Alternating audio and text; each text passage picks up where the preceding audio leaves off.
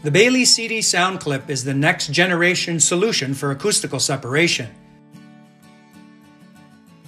This connector is used in conjunction with a 7 8 furring channel to fasten gypsum wallboards in various wall and ceiling applications. It significantly reduces the amount of airborne sound filtering from room to room, greatly improving your project's sound transmission rating. It is ideal for use in multifamily dwellings, hotels, theaters, and hospitals. And with its extensive testing and UL fire rating for most common assemblies, it guarantees best in class performance and safety. We will now show you how easy it is to install. Step 1 Chalk the wall to mark the horizontal lines where the furring channel will go.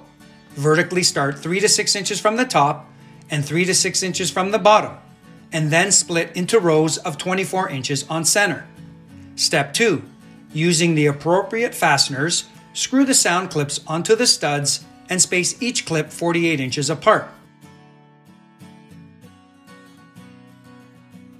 As you can see, the distribution of the clips will look different for studs spaced 24 inches on center versus 16 inches on center.